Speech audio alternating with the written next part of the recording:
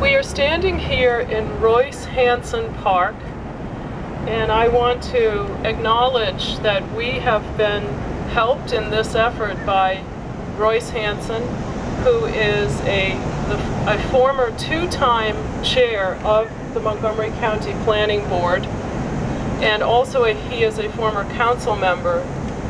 And Royce is also known as the father of the Agricultural Reserve, which it has set aside a third of our land in Montgomery County for preservation.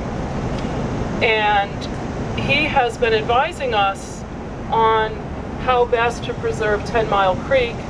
And we have put the latest and greatest of, of his recommendations into our recommendations for the creek. And we have a, a fact sheet available that is we've updated um, that includes uh, Royce Hanson's recommendations. And so this, uh, this is how to preserve the creek through downzoning it, put, placing the, the land into uh, permanent protection as farmland and forest land.